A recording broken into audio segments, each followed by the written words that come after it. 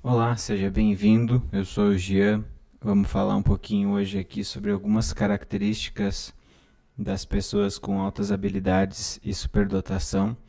Não vou entrar tanto aqui na definição, né, é, problematizar o que, que seria altas habilidades, superdotação, porque isso é uma discussão teórica, acadêmica e técnica bem grande. O que me interessa aqui é dar mais algumas uh, ferramentas e munir as pessoas de informações e principalmente eu acho que trazer luz a algumas questões que as pessoas vivem e que elas não entendem. Né? Então, vamos trazer algumas questões aqui sobre essa questão da, das altas habilidades, da superdotação, algumas características. E já adianto que se você quiser fazer né, uma pesquisa mais intensa nesse sentido, você deve fazer para você fazer uma identificação completa, né? Você tem que fazer um, um, uma testagem neuropsicológica.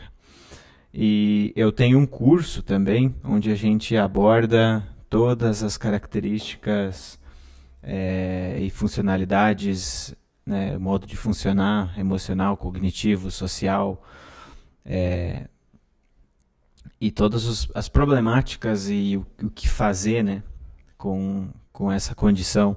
É um, é um material em que eu, um neuropsicólogo, que é o Fábio Perim, e um psiquiatra, né, que é o Matheus Messinger, e uma nutricionista, a gente traz é, dicas, insights e conhecimentos para essa população. Então, se você quer fazer uma identificação completa, né, ter certeza, você vai precisar fazer uma testagem muitas vezes.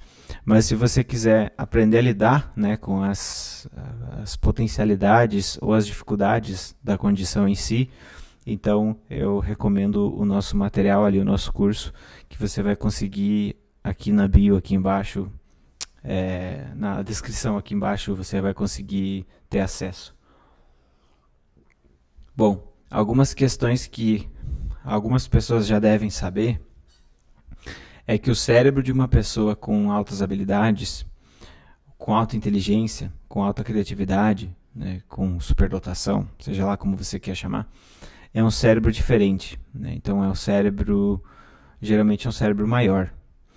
Então tem algumas, alguns estudos que comparam o cérebro com o tamanho do corpo né, de pessoas com o quociente de inteligência menor e com pessoas com o quociente de inteligência maior.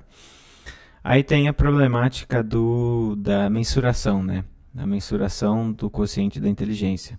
Então, algumas pessoas vão dizer, com razão, que você pode fazer um teste, por exemplo, de QI e pode dar um QI baixo. Isso não significa que você não tenha altas habilidades ou superdotação, ou isso não significa que você não tenha uma inteligência é, alta.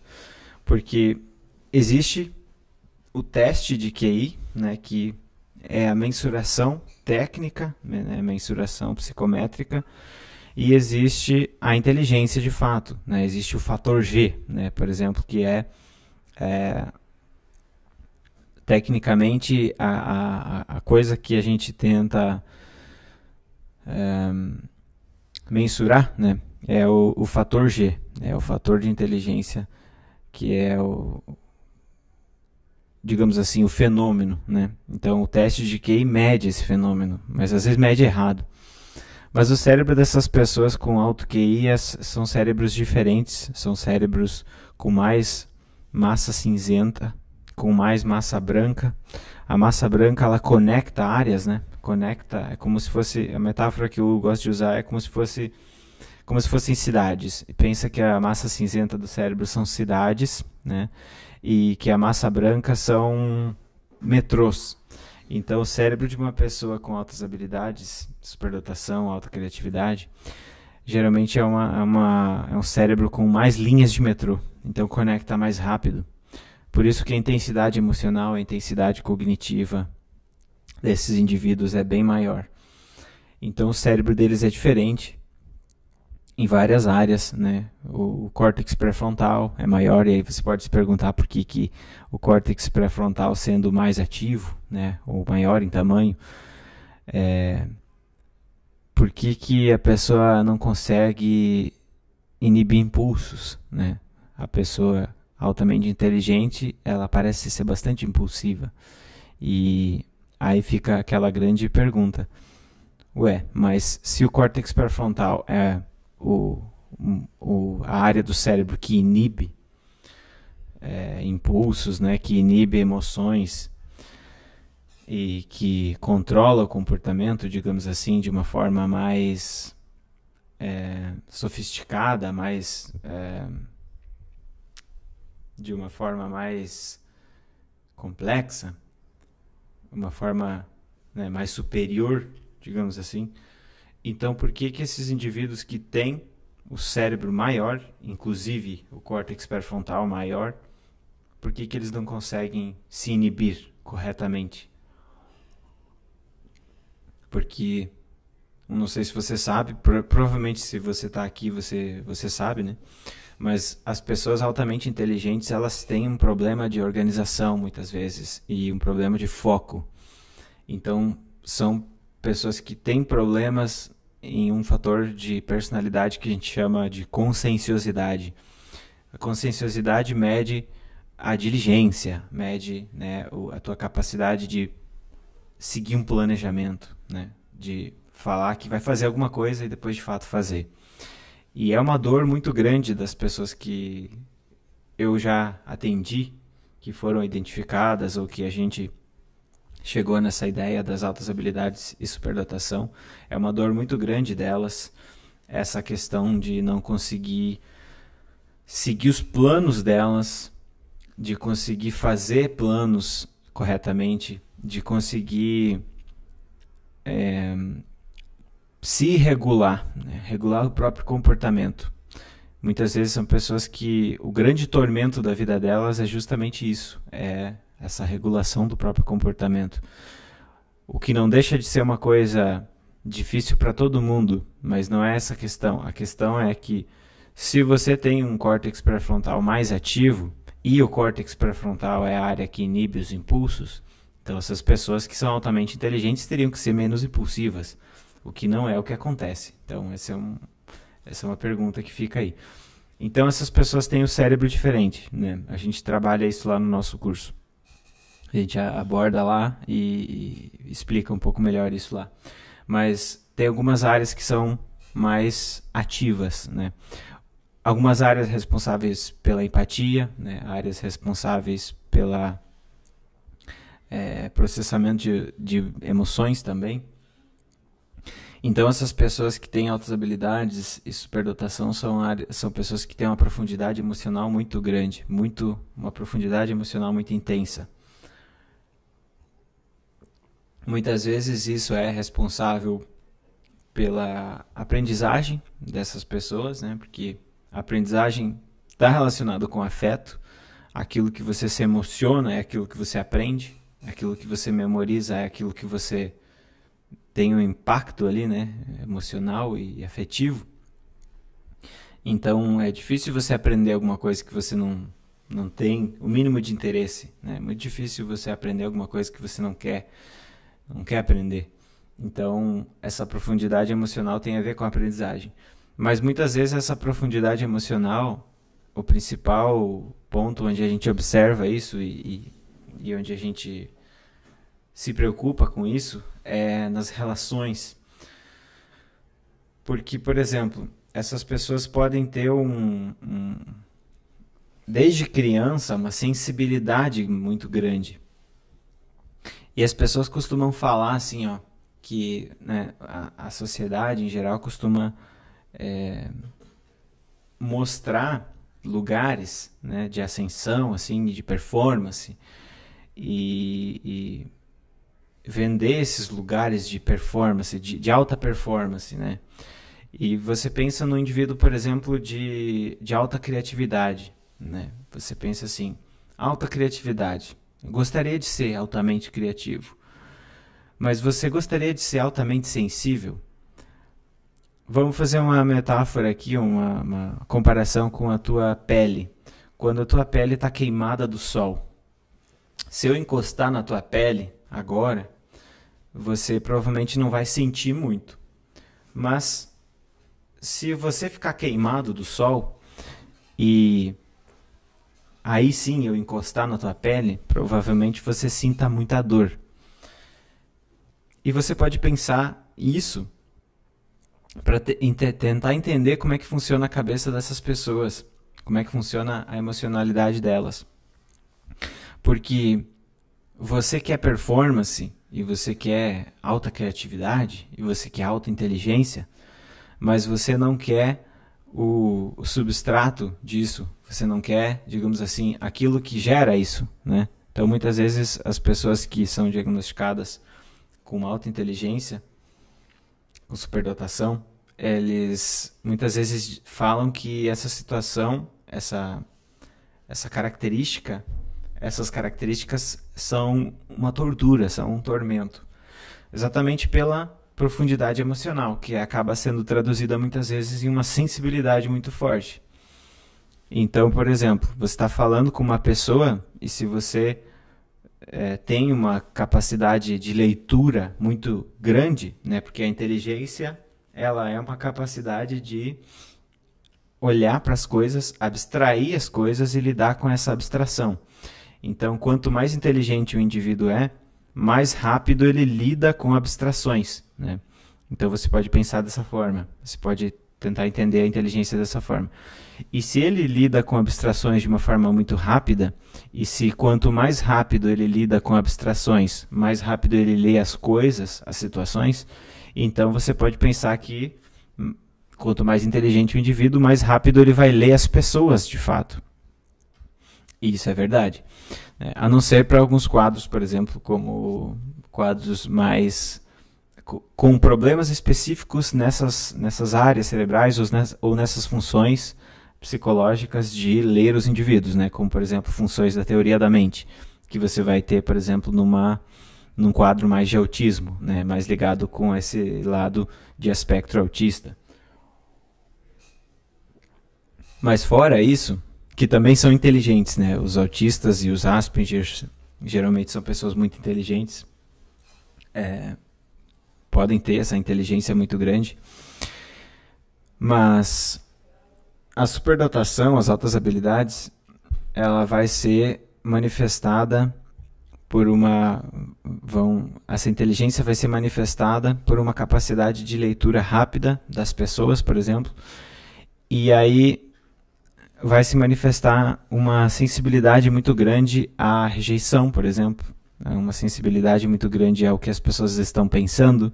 Né? Então pensa que você está com a pele queimada e qualquer toque dói muito.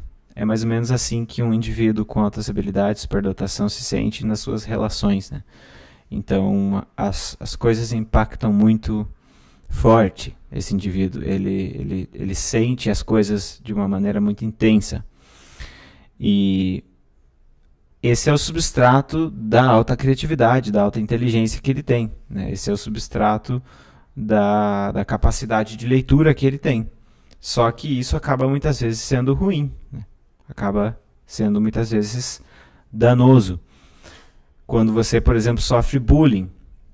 Então, por exemplo, Alguns pacientes que eu atendi sofreram bullying na escola, né, no ensino médio, por exemplo, onde você tem a, aquela brutalidade né, dos adolescentes e, e, e, toda aquela questão da coletividade, né, de status e não sei o que, de brincar com a imagem dos outros e muitas vezes de forma maldosa. E nessa idade, por exemplo, um indivíduo altamente inteligente vai ser muito propenso né, a uma depressão, por exemplo, a uma questão mais emocional, né, uma questão de, de adoecimento emocional por conta exatamente disso. É, um indivíduo rejeitado nessa idade, com um pensamento muito complexo, muito arborizado, né, muito intenso, ele vai sofrer muito mais do que uma pessoa que não pensa tanto, que não sente tanto, né, que não tem tanta sensibilidade. Então fica com essa metáfora aí da, da pele queimada que você vai conseguir entender o que, que é essa profundidade emocional. Porque muitas vezes as pessoas falam, ah, o indivíduo altamente inteligente, o indivíduo superdotado, o indivíduo com altas habilidades tem profundidade emocional. Ele sente tudo maior, com mais, com mais intensidade. Ele sente tudo com mais força. E aí você pensa, bom, que legal, né? Você vai ficar mais empolgado quando você vê um filme legal, você vai ficar mais empolgado quando você lê um livro legal, quando você conversa com alguém, a conversa é interessante, você vai ficar mais empolgado, mais motivado. Sim, mas esse é o lado bom. O lado ruim é quando você tem uma relação, por exemplo, tóxica. Aí ela é muito tóxica.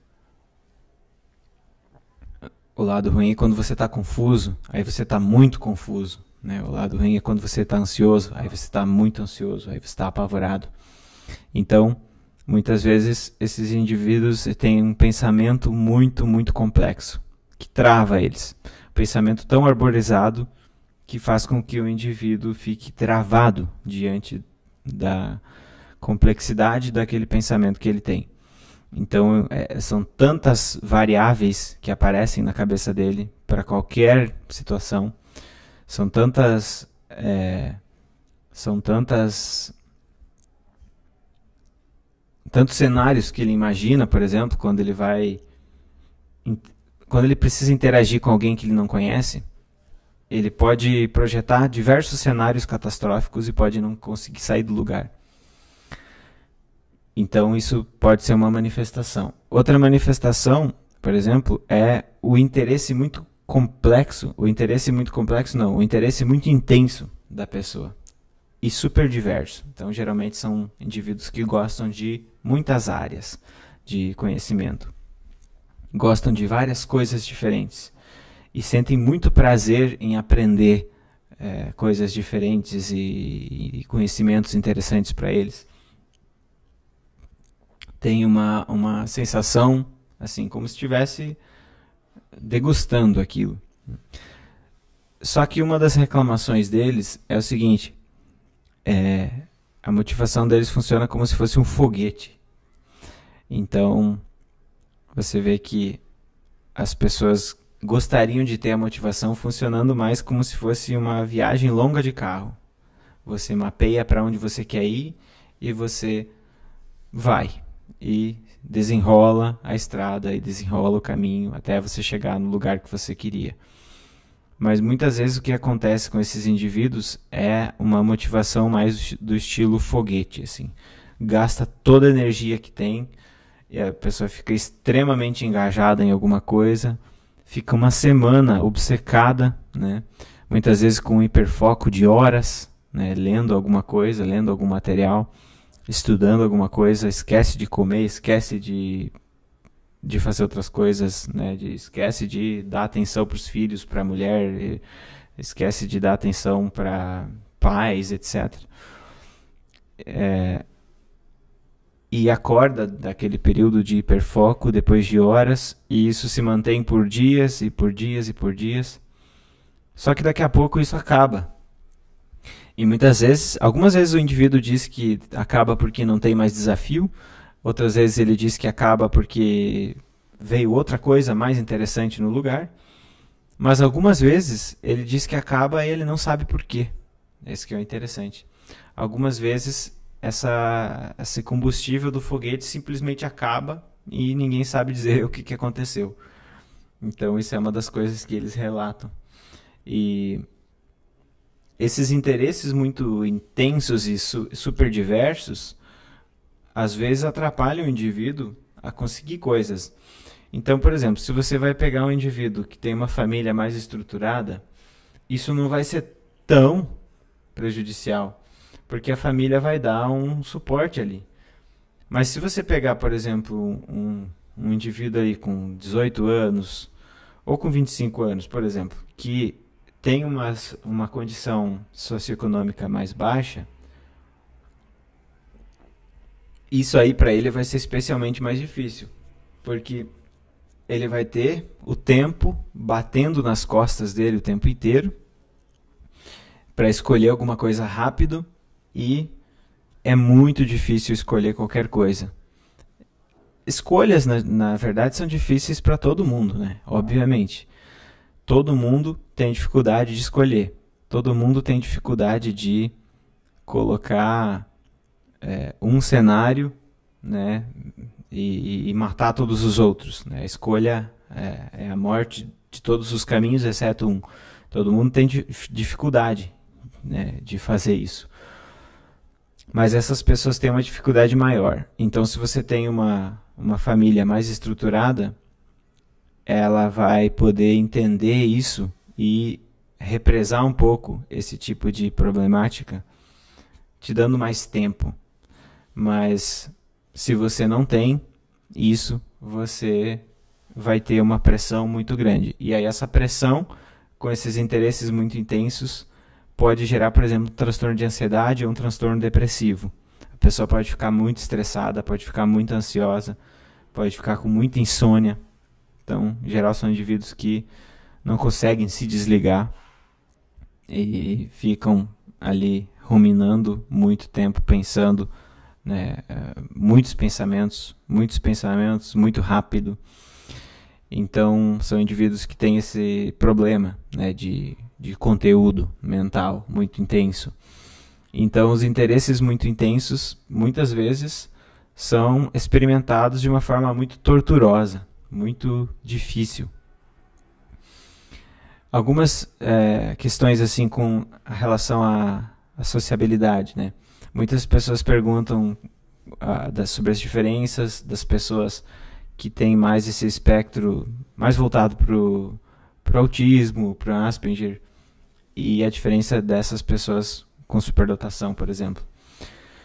A diferença principal, na minha opinião, eu não sou especialista em, em, em questão de Asperger e, e tal, mas o que eu percebo na clínica é que existe uma diferença bem grande no sentido de que o superdotado, a pessoa com altas habilidades, uma inteligência muito grande, ela lê muito rápido as pessoas.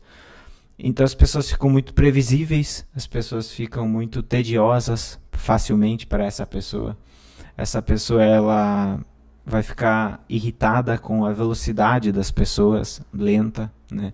Ela vai ficar entediada nas conversas muito fácil ela vai ficar estressada na conversa muito fácil porque parece que aquilo está se repetindo, repetindo, repetindo, repetindo, repetindo. Parece que as conversas não saem do lugar. Ou o indivíduo vai sentir, por exemplo, que as conversas não têm uma direção. Né? Vai, vai dizer, por exemplo, que ah, eu entro numa conversa e sinto que eu estou perdendo tempo porque as pessoas só falam sempre a mesma coisa ou as pessoas ficam falando de banalidades e futilidades, ou as pessoas começam a falar e aí a conversa começa a pipocar sobre vários temas e, e, a conversa não tem um rumo, e aí eu fico confuso e eu não quero conversar, e aí eu quero me isolar, só que daí eu fico sozinho, eu fico ansioso, porque quando a gente fica sozinho a gente fica ansioso e ao mesmo tempo a super leitura né, das pessoas. Então, assim, eu olho para a pessoa, eu sei que que ela está pensando de mim, né? Projeto muito fácil e aí a pessoa sente aquilo que o outro está pensando de você, né? O superdotado ele olha e ele ele olha e diz assim: essa pessoa está achando que eu sou imbecil, essa pessoa está me achando babaca, essa pessoa está me achando é, fútil, essa pessoa, sei lá. E muitas vezes eles estão certos na análise deles. Então essa, essa leitura, é, no meu entender, qual é a diferença assim de uma pessoa com superdotação para uma pessoa mais pro lado desse espectro autista e tal. Os autistas têm a dificuldade de fazer essa teoria da mente, de, de habitar o mesmo mundo social do outro, né, de fazer essa projeção. O indivíduo com altas habilidades de superdotação é o oposto disso. Ele tem uma super leitura. Ele tem uma super leitura daquilo que você está pensando e sentindo. Ele prevê muitas vezes o que você vai falar. Ele prevê muitas vezes o que as pessoas vão dizer. Então, muitas vezes os, os meus pacientes falam assim: eu vou para a reunião, só que antes da reunião eu falo pro meu colega o seguinte, ó, o fulano de tal vai dizer isso, isso e isso, o fulano de tal vai falar isso, isso e aquilo, aí o outro cara vai, vai argumentar contra esses dois falando isso e isso, aí vai chegar no ponto que a gente quer, que é o ponto XYZ da conversa, e daí nesse ponto que eu vou entrar eu vou dizer tal coisa. E aí eles chegam na conversa, acontece tudo aquilo. Parece que a pessoa tem uma bola de cristal. Mas o que, que é? A pessoa observou já o comportamento daquelas pessoas, o comportamento daquelas pessoas apresenta um padrão, e a pessoa, como tem essa capacidade de abstrair muito rápido e a capacidade de absorção de, de, de padrões, de conteúdo, de entendimento, ela na verdade não é que ela prevê, ela, ela, ela já viu tanto daquela pessoa que ela sabe o, o padrão de comportamento daquela pessoa, como se fosse um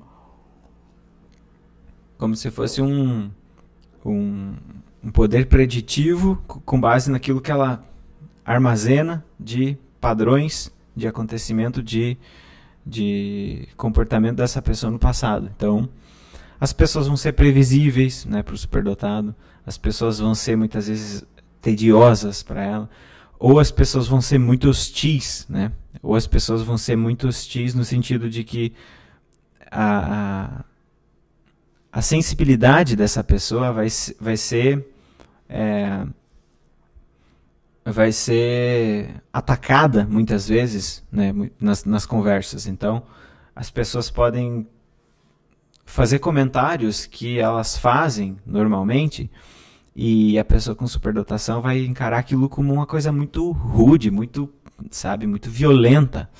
A pessoa vai sentir muita dor sobre aquele comentário em si. Vai ter muito impacto. Aquele comentário que aquela pessoa fez vai ter um impacto gigantesco. Então, por exemplo, essas pessoas não podem ter amigos tóxicos ou familiares tóxicos, pelo menos se quiserem ficar emocionalmente bem, porque é, sem se afastar, né? Você pode, obviamente, ah, eu tenho um familiar tóxico aí, um, um pai, uma mãe, então o que, que eu faço, né? Faço essa pessoa sumir, eu sumo. Não, mas você pode se afastar da relação afetivamente de forma que não te destrua. Porque às vezes a pessoa vai ter o modelo de quem ela é todo construído com base numa uma coisa muito, muito capenga, muito frágil. Então eu tenho uma autoimagem, por exemplo, muito frágil, uma identidade muito frágil. E aí chega uma pessoa e fala assim: Mas você é um desorganizado, bagunceiro, indisciplinado, né? você não sabe o que é da vida, você não se ajuda. Pá! E aí desmonta essa pessoa emocionalmente. Então é, é diferente de você não entender o que o outro está pensando, não conseguir acessar o mundo dele não conseguir nem saber o que, que o outro está pensando, não, não ter essa conexão. É, é, o contrário, né? Você tem uma hiperconexão com a, a, a, capacidade de ler, né? Você tem uma... Não é uma hiperconexão no sentido de... Conexão no sentido de estamos conectados e sintonizados e vamos para o mesmo lugar. Mas é uma capacidade de leitura muito rápida e muito intensa e atrelado a uma intensidade emocional e uma sensibilidade e uma dificuldade de é, estabilizar a identidade. Tudo isso a gente trabalha lá no nosso curso. É, eu explico melhor lá por que, que, por que, que tem essa dificuldade de estabilizar a identidade né, do indivíduo superdotado.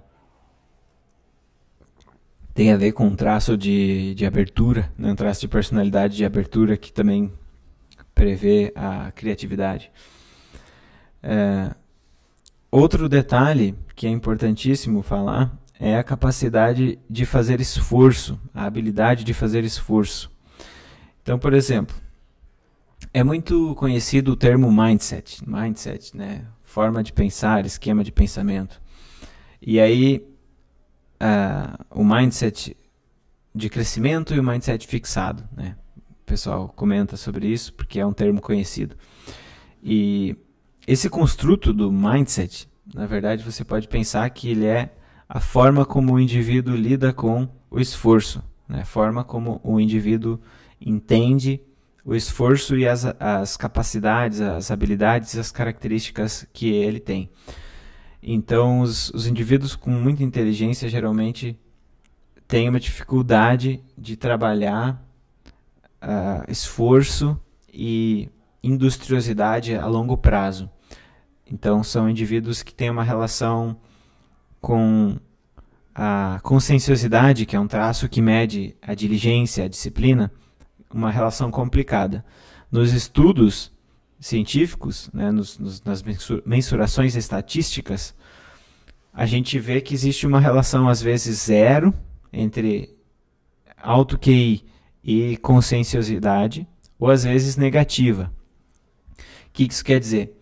Quer dizer que você vai pegando o QI, vai aumentando. Imagina que você pudesse aumentar o QI de uma pessoa, assim, vai aumentando o QI dela. Conforme você for aumentando o QI dessa pessoa, você baixaria o nível de conscienciosidade dessa pessoa. E isso é muito complicado porque essas pessoas são muito inteligentes, então entendem muita coisa, aprendem muita coisa, sabem muita coisa, mas tem um problema de foco, né, de, de foco, de constância. E não é um problema de caráter, não é um problema de é, problema de um problema moral, né? É um problema que tem a ver com a funcionalidade né, da, das cognições, do cérebro, da emocionalidade dessas pessoas. Porque você vê que isso aparece em muitos estudos. Aí tem algumas pessoas que tentam entender isso e explicar. Aí tem a teoria do modelo compensatório, que diz o seguinte: bom, esses indivíduos são muito inteligentes, então eles não precisam se esforçar e ter comportamento consciencioso na infância. Logo, eles não desenvolvem esse comportamento consciencioso, porque eles não precisam. A inteligência faz por eles aquilo que a disciplina, né, o, o esforço contínuo faria, mas não precisa, porque a inteligência dá conta. E aí faz com que não seja necessário, e se não é necessário, não é reforçado, e se não é reforçado, não é desenvolvido.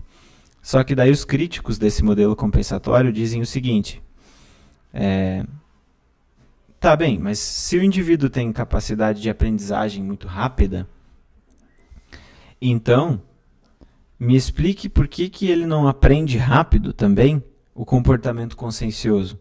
Porque ele percebe desde novo que esse comportamento é necessário. E muitos, muitos superdotados que eu atendo, quase todos eles, chegam e uma das principais dores que eles têm é justamente essa. Muitas vezes eles trocariam um pouco de inteligência deles, se eles pudessem diminuir a inteligência deles e aumentar a conscienciosidade, ou seja, se eles pudessem diminuir a capacidade de aprendizagem, de absorção, de leitura, de interesse múltiplo e aumentar a constância, eles fariam isso, mas eles não conseguem. Então, isso é uma dor dessas pessoas muito intensa. E tem essa relação negativa entre conscienciosidade e QI. E isso é um grande problema quando a gente pensa naquela questão do córtex pré-frontal modulando é, no sentido de ser inibitório, né? Isso, isso é uma questão que fica batendo nessa, nesse conceito do córtex pré-frontal como, como o inibitório, né? Então, mas como assim, né? Como que é inibitório? Então, se é, o indivíduo altamente inteligente tem uma integração pré-frontal com o parietal, né, que é um, um, dos modelos que explica a inteligência do Heyer, é um autor que explica a inteligência a partir desse modelo PFIT, né, que eles chamam é, modelo integração parieto-frontal. Tem uma integração parietal-frontal, ou seja, essa, essa área né, aqui do, do lado aqui, parietal, e a área frontal ela é mais integrada. Então, as sensações, né, os, os as sensações, a, a, as, as percepções e o córtex pré-frontal são mais ligados. E, e aí o indivíduo tem menos capacidade de controle comportamental Curioso, não? Então, assim, tem que explicar o porquê disso, né? Se você fala que o córtex pré-frontal, ele é o, o gerente do cérebro, então você vai ter que explicar por que, que a pessoa que tem mais córtex pré-frontal tem menos gerência, né? Tem menos gerência do cérebro, tem menos controle, né? Então isso é uma questão muito complicada e muito difícil. Mas a questão da conscienciosidade é um problema dessas pessoas. e é um problema de quase todas as pessoas que eu atendi.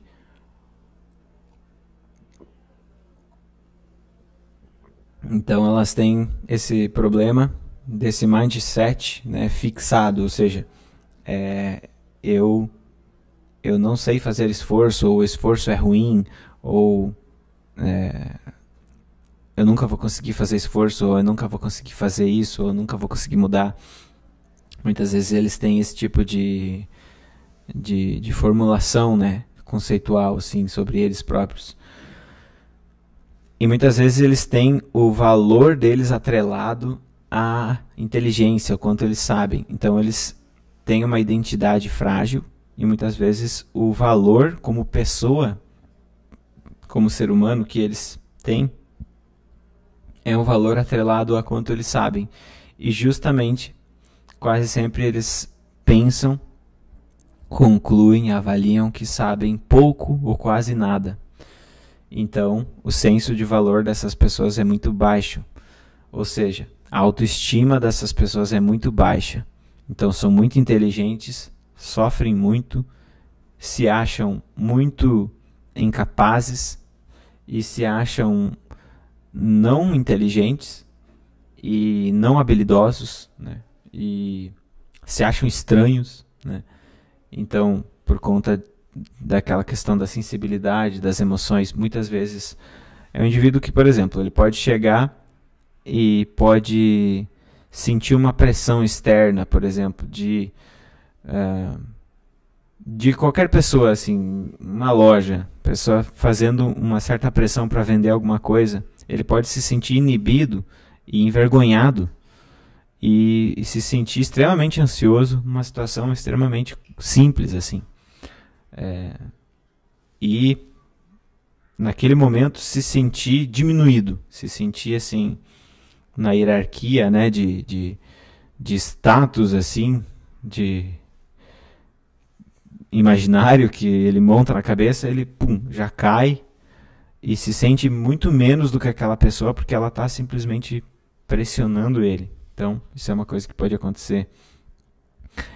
E a falta de atenção ou a, ou a, a, a atenção, né, não ser uma coisa fácil de controlar, também é uma questão que acontece. Então, tem muito diagnóstico de TDA né, nesse, nesse, nesse ramo aí, nesse, nesse, nessas pessoas, tem muito diagnóstico de TDA Alguns pode ser que tenham, mas não tem como saber é, de uma forma assim. A pessoa vai dizer: Ah, Gia, como que eu faço?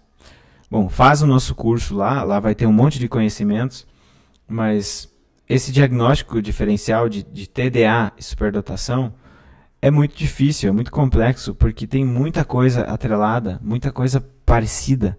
Né? Superdotado tem aqui, aquilo que a gente chama de baixa inibição latente, é, pode ser muito parecido com TDA. É, baixa inibição latente é uma capacidade de é, é, o indivíduo ele olha para as coisas, ele percebe as coisas, o pensamento dele associa muito rápido coisas é, não familiares como se fossem familiares. Então ele tem uma associação muito rápida de, de, de conexões ali, né? E isso pode se traduzir, o fenômeno disso pode, pode parecer muito um, um transtorno de, de déficit de atenção.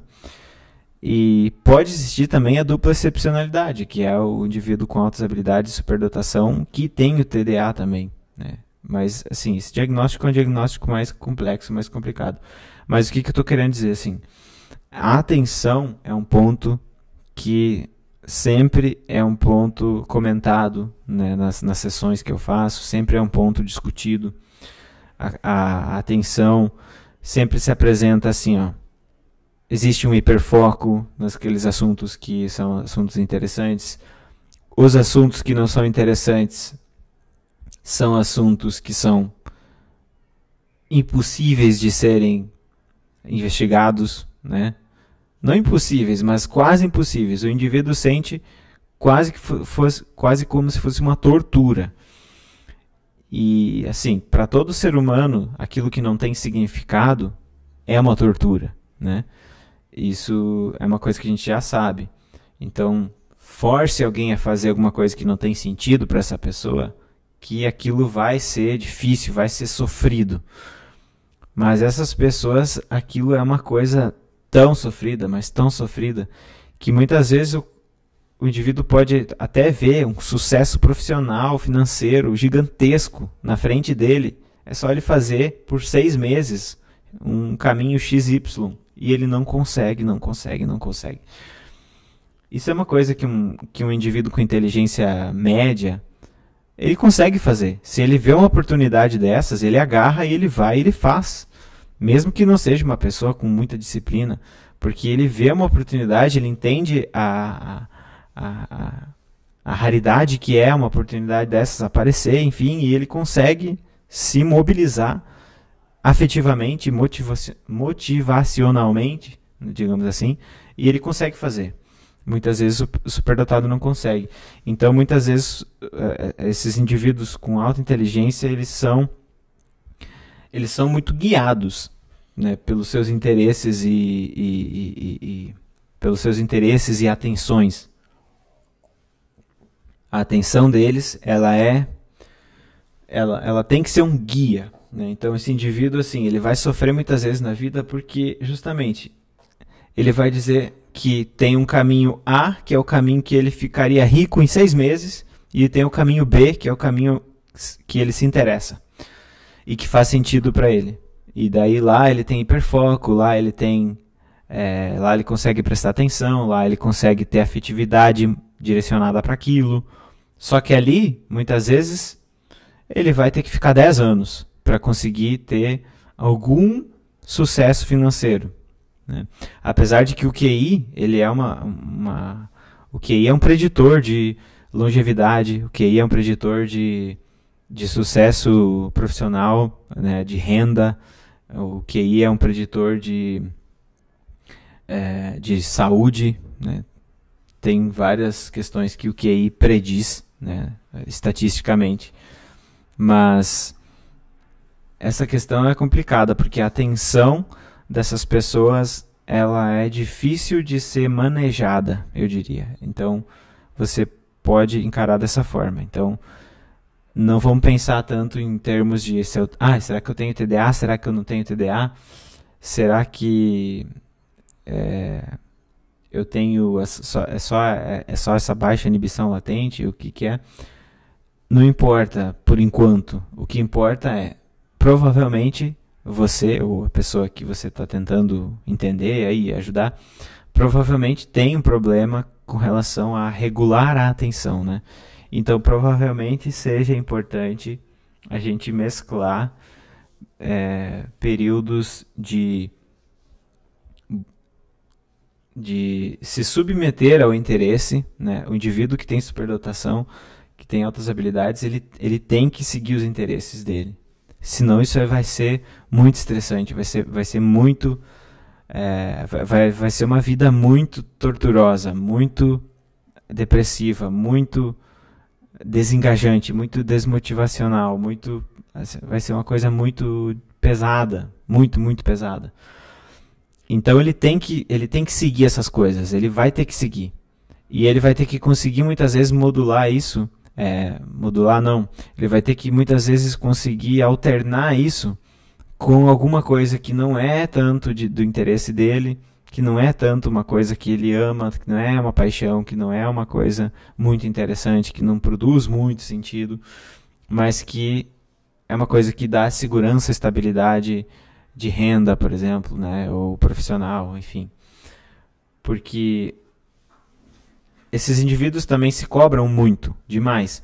Então, se eles estão, por exemplo, com 30 anos na, na casa dos pais e não conseguiram decidir o que eles querem fazer, muitas vezes eles, eles fizeram várias coisas, fizeram duas, três faculdades e desistiram de todas. Eles se cobram muito, eles vão sofrer muito por estarem nessa situação. E então muitas vezes a gente vai precisar estabelecer um, um, um caminho paralelo quase o indivíduo vai precisar entender algumas coisas que ele precisa fazer para ter uma certa estabilidade financeira, profissional, etc. E aproveitar algumas oportunidades, né, e ir desenvolvendo essa industriosidade aos poucos. Né. Como que se faz isso? Bom, isso é uma questão bem complicada, não vou conseguir passar para vocês aqui. O nosso curso lá tem mais de 25 horas de conteúdo sobre essas questões. Então assiste lá. Mas o que, que a gente está falando aqui? Você vai precisar muitas vezes estabelecer um caminho duplo. Né? Ao mesmo tempo que esse indivíduo vai perseguindo coisas que têm significado para ele, ele vai ter que dar conta de fazer a vida funcionar. Né? Ele vai ter que dar conta de fazer com que as coisas é, socialmente né, aceitas e socialmente importantes aconteçam, né? Por exemplo, se ele é pai, ele vai ter que sustentar o filho dele, né? Ele vai ter que sustentar a família. Então, ele vai ter que exercer um, uma, um jogo de cintura grande para conseguir manejar essa busca de sentido, de, de interesse, né, da atenção, de perseguir aquilo que tem significado para ele e também esse caminho de ter esse esse colchão assim, né, de, de estabilidade. Bom, geralmente o que, que acontece quando as pessoas começam a se identificar? Eu recebi até algumas mensagens ontem, porque eu abri um conteúdo do, do material pago lá que a gente tem pro, pro meu podcast gratuito. E veio umas pessoas falando assim que, que que choram, sabe? Que choram depois de, de entender todas essas coisas.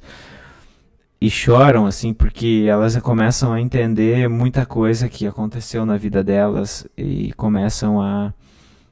É como se fosse tudo se encaixando, sabe? Tudo está se encaixando, tudo eu estou entendendo muita coisa. Agora, agora tudo faz sentido, né? Essa sensação de agora tudo faz sentido e uma sensação de meu Deus, como eu não sabia disso e meu Deus, como eu não percebi nada disso antes. E e como pode eu ter vivido tanto tempo sem ter a mínima noção dessas coisas.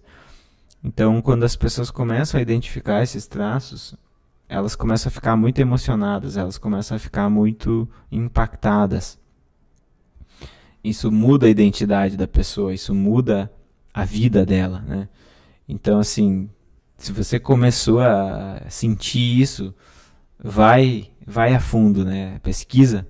Por isso que a gente fez aquele nosso material ali, aquele nosso evento, por isso que a gente fez aquele curso.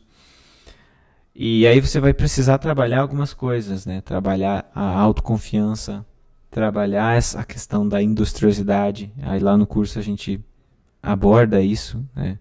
Isso é uma questão muito complexa, muito difícil de fazer porque não existe um protocolo para como trabalhar a industriosidade no indivíduo. Né? Existem, existem algumas, algumas coisas que são indícios de que são indícios de que você que você pode seguir, né? indícios não, são é, eu diria que são tem alguns caminhos que você pode seguir que tem mais probabilidade tem mais probabilidade de é, desembocarem num cenário onde o indivíduo acabou desenvolvendo mais diligência, mais disciplina, mais industriosidade. Mas não existe um protocolo, não existe um passo a passo. O que existe, que a gente conseguiu coletar, está lá no nosso, no nosso material, lá no nosso curso. Então você vai precisar trabalhar a tua identidade, a tua autoconfiança, né? Muitas vezes no processo terapêutico, a industriosidade, relacionamentos, relacionamentos patológicos é imprescindível que você se afaste, que você saiba lidar, que você entenda como lidar com eles. A gente tem uma aula lá de quase três horas também só sobre relacionamentos, justamente para isso. A intensidade emocional, né? entender o que fazer com isso, entender como regular isso, a gente trabalha também lá no curso. E também, uma coisa que a gente fala de um curso lá desde o início até o final, é a questão da coragem, né? É a questão da coragem porque a sociedade valoriza muito é, disciplina, né, foco, organização. Então a sociedade tá, muitas vezes está preparada para absorver pessoas que não têm uma inteligência muito grande, porque essas pessoas que têm essa inteligência muito grande têm esse, essa dificuldade de, de ter esses comportamentos mais focados, organizados e consistentes. Só que ao mesmo tempo, a sociedade valoriza muito, por exemplo, artistas. Você olha o que, que são os artistas. Os artistas são pessoas que estão muitas vezes mergulhadas no caos. Né? Criatividade, por exemplo. Então, são pessoas que muitas vezes não são tão constantes. Muitas vezes são pessoas que, é, por exemplo, um livro clássico do, do livro.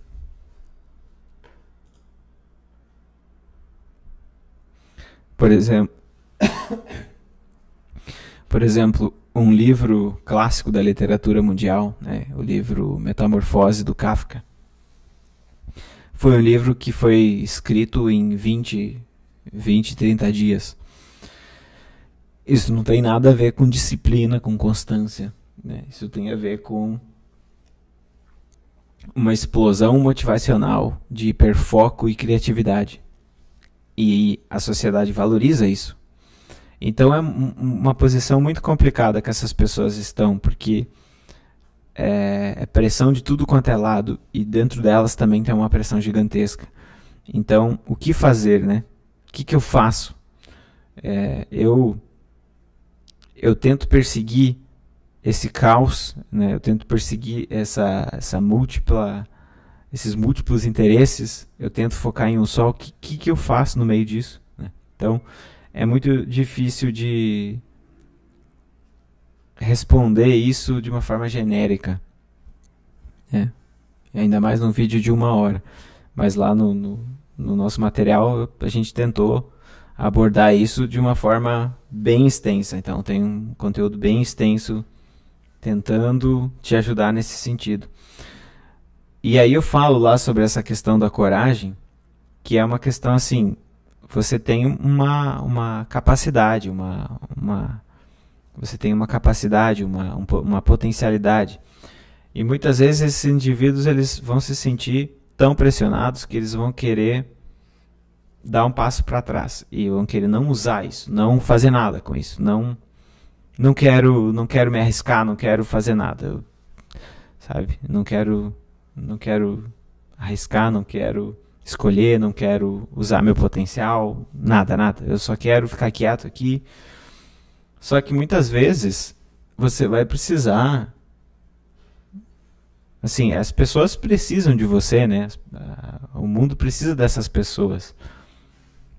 Porque são pessoas que que modificam as coisas demais modificam bastante as coisas. Essas pessoas com alta inteligência, com alta habilidade, com alta criatividade, são as pessoas que movem as coisas para frente, que modificam os, né, a cultura. Os artistas, por exemplo, são pessoas que expandem ali aquela área do, do conhecido, do mapeado e colocam um pouco mais de coisa dentro dessa área. Né? Então eles estão sempre nessa borda entre a ordem e o caos. Eles estão sempre nessa borda entre, entre aquilo que é sabido e, e aquilo que é seguro e aquilo que é o difícil, né? Então, se você for fazer uma uma, uma imagem, tem uma história uh, com, com a questão dos peixes, né? Os peixes eles vivem no, naquele bando ali e eles vão alternando os peixes que ficam mais na borda, né? E você estar bem no meio, né, bem no meio desse grupo, é o lugar mais seguro, porque você está ali protegido pela massa. Só que esses indivíduos aí que a gente está tentando identificar e tentando encontrar são os indivíduos que ficam lá na bordinha. E, e muitas vezes são indivíduos que vão ter que ficar lá. Né? Eles, eles vão ter que ir para lá. Eles não vão conseguir ficar no meio. E aí eles vão precisar de muita coragem. Então, eu, eu nem ia fazer muito, muito material sobre isso, mas eu nem ia fazer um curso sobre isso, nem ia fazer um treinamento sobre isso. Mas eu acabei optando por fazer porque eu achei necessário e as pessoas as pessoas precisam né, de, de algum tipo de orientação, precisam de algum tipo de, de caminho.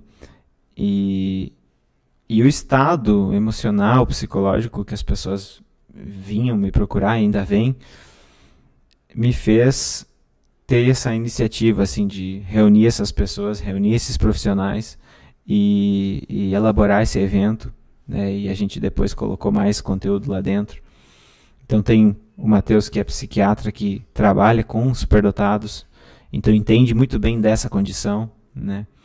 E se deparou com isso quando começou a entender o filho dele como como uma pessoa diferente que não não não estava não tava se encaixando no, no, padrão. E tem a parte do Penin, que é a parte da testagem neuropsicológica, né, que ele explica como funciona. E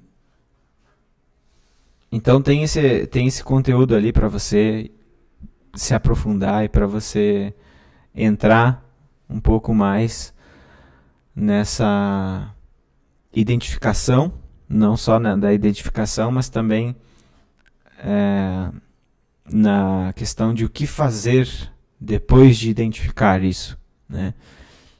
Então o que eu trouxe para vocês aqui foi um, um, resuminho aqui que eu fiz. Uh, coloquei algumas algumas frases aqui no num documentozinho aqui para me guiar para falar para vocês algumas coisas. E o nosso conteúdo está lá disponível você consegue no link aqui embaixo.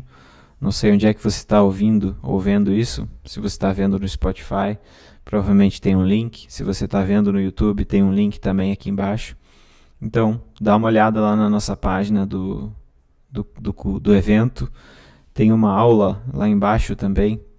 Embaixo na, na, no finalzinho da página tem, tem uma aula também lá que você pode ouvir um pouco mais sobre esse assunto. E espero que eu tenha ajudado. Se você tem alguma dúvida sobre isso, coloca no comentário aqui ou lá no Instagram, pode perguntar também. E a gente se vê no próximo conteúdo.